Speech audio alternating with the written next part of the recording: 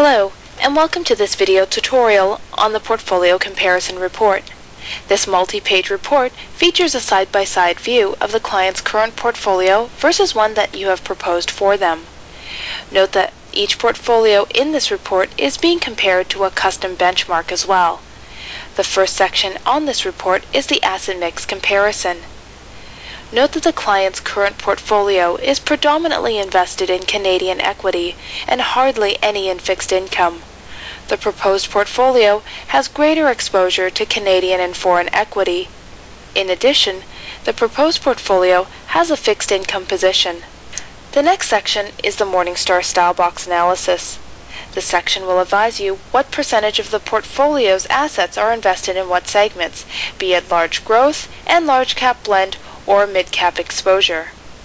Look at the proposed portfolio on the right and compare the two in terms of their exposure to the size of companies and price characteristics. Please note that if the portfolios have exposure to fixed income, then the fixed income style box will be populated. An empty fixed income style box confirms no exposure to fixed income investments. At the bottom of the first page of this report is the sector weighting section. Note that these two portfolios are not that different from one another in terms of their holdings and that both are well diversified across a number of different sectors. Neither portfolio has wagered a significant portion of its assets in any one sector. At the top of the second page of this report is the regional exposure section.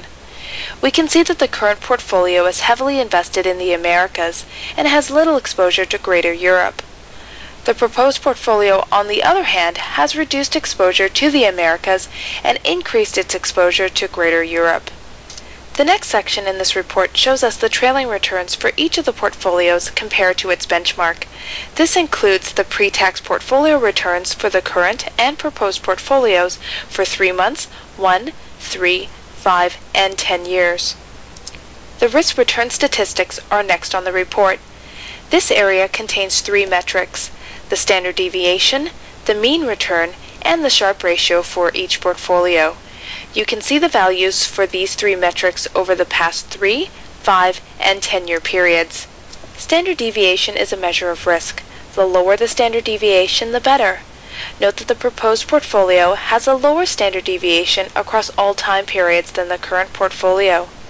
The Sharpe ratio reflects whether the portfolio's returns have been due to wise investing or simply taking additional risk. The higher the Sharpe ratio, the better the risk-adjusted returns are for the portfolio. The proposed portfolio scored a higher mean returns for all three time periods over the current portfolio. Next up are the modern portfolio theory statistics, alpha, beta, and R squared. The R-squared score for a portfolio should be at least 80 to indicate that the alpha and beta scores are reliable. Alpha reveals the value of a portfolio's returns given its beta score. Any positive alpha means that the fund's returns outstrip the risk that were taken to earn those returns. Finally, the last page of this report shows us the holdings of each portfolio, as well as the percentage of allocation for each holding. The current portfolio has more funds in the portfolio while the proposed portfolio has just one fund. Thank you for watching this video tutorial on the Portfolio Comparison Report.